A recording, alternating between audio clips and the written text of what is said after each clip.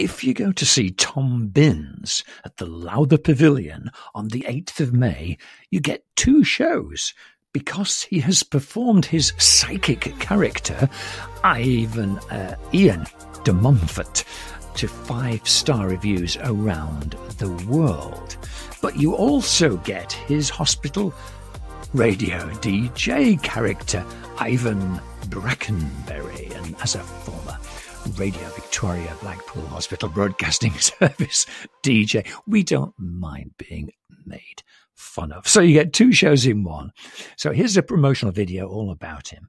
So that's uh, Tom Binns, okay, on the 8th of May at Lowther Pavilion.